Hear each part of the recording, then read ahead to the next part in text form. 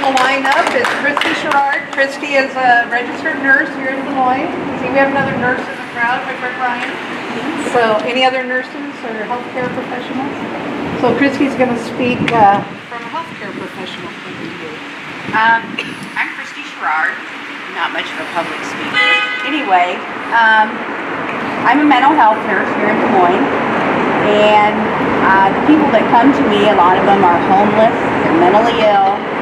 Um, the Affordable Care Act has enabled them to get on Medicaid so that they can get treatment.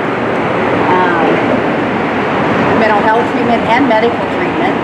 Um, so, you know, I think healthcare is a fundamental right. I think we need to take the profit out of it. I, you know, we're not treating people. We're we're trying. To, you know, the healthcare system's trying to make money. Um, they. Uh, it, it's a sad state of affairs. People I take care of, most people would consider throwaway people. Um, we all have different stories and and you know sometimes I look at them they come in and I think you know what?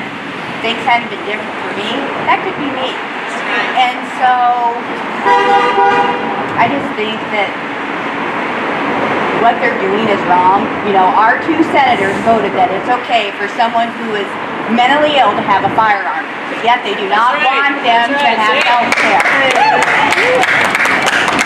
and you know, we need changes. It says in our Constitution that everyone um, has basic rights, life, liberty, and the pursuit of happiness. As far as I'm concerned, life equals health care. Yeah.